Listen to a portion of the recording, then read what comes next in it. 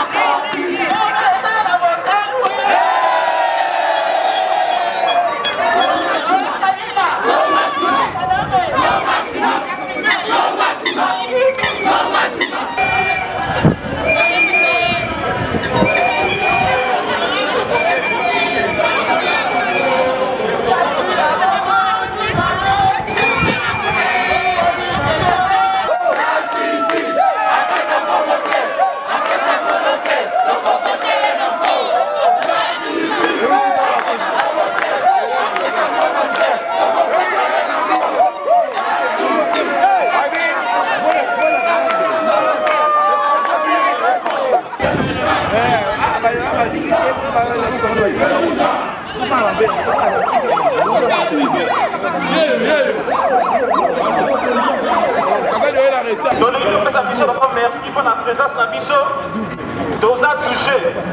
bomoni ntango tokomaki liboso ya mpila balinga bacomplike parce que lundi ntango tokotaki euh, demande ya police nayebisaki bango tokozala après 25 mais naza surprise na bolinga mboka nde boye ebele boye motema nanga ezolela tomoni ke tolingi mboka Merci bandeko, toyoki tosala bino lecture ya memo oyo toki kokotisa mais avant tosala lecture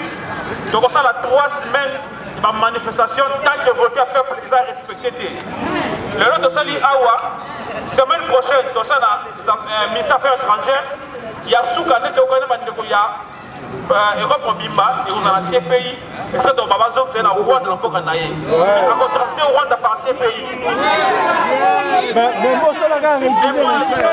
pesaka résumé résumé ya memoapesa résumé nayesi bango ke mboka na biso ya congo depuis 50 ans nto toza indépendance te congo eza kosouffrir na nimero bapoint ebele awa notamment tuerie sauvage Mpo tomonaki, napesi bakai ya bamambre ya Bundu ya Congo, napesi bakai ya Kunda Batore, un Rwandais akoti na mboka na biso, azwi basi na biso, aviole bango, bana na biso aboyi bango, mpe mibali na bino mpe bandeko na bino mibali aboyi bango, me batike libre. Epuis toyebisi bango bana mboka na biso, notamment hero na biso Armand Tungulu, Shebeya, Baboma ye tomo na communauté internationale notamment mpe Hollande bazoba eloko moko te etoyebisi bango raison oyo toye makasi ya lelo tosenga na bapays ya communauté européenne et puis en particulier pays bas parce que tozali awa soki ya solo ezali pays de droit et ya démocratie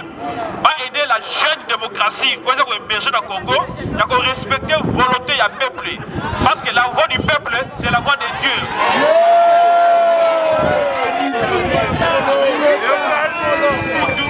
moko te akoki koyiba voi ya peuple soki bivoi ya peuple eza nde olingi oyiba nzambe kaka nzambe bayibaka ye te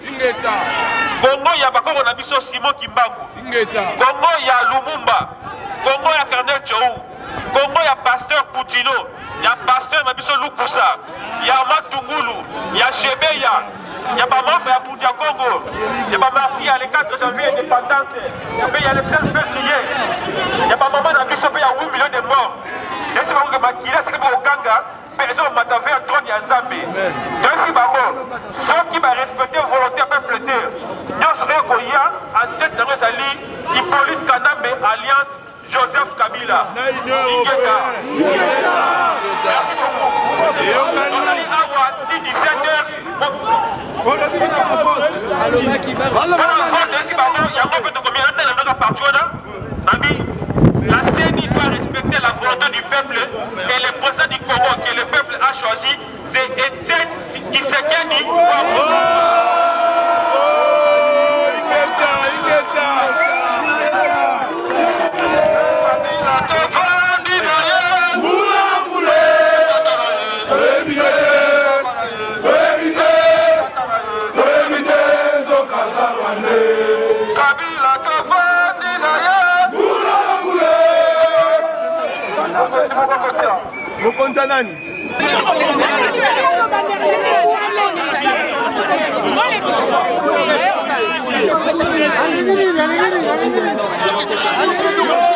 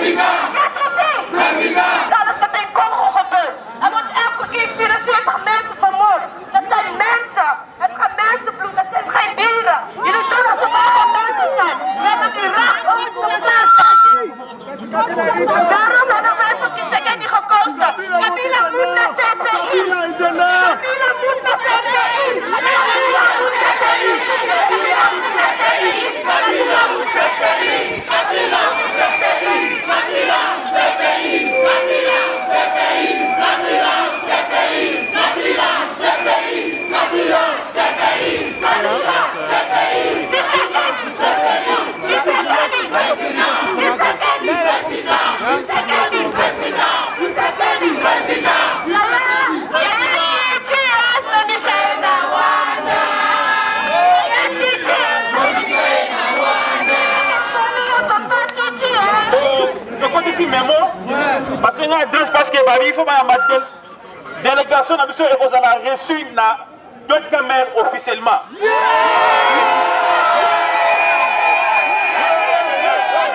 voilà quand même te remercier ba autorité hollandaise mpo na attention oyo apesi biso bandimi quand même baoso na biso merci mpo na ba autorité hollandaise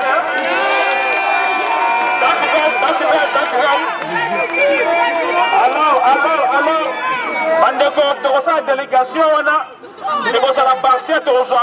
4 personnes oyo bokolona biso na télévision ya awa mais rendez-vous susu semaine prochaine ba sms etambolaka ndenge wana c'est vrai prochain toza na ministre affaire étrangère bango mpe fo bamba biso ndenge toleka mbe niloko ba biso okufa biso tolembi ye na rwanda zala mpe biso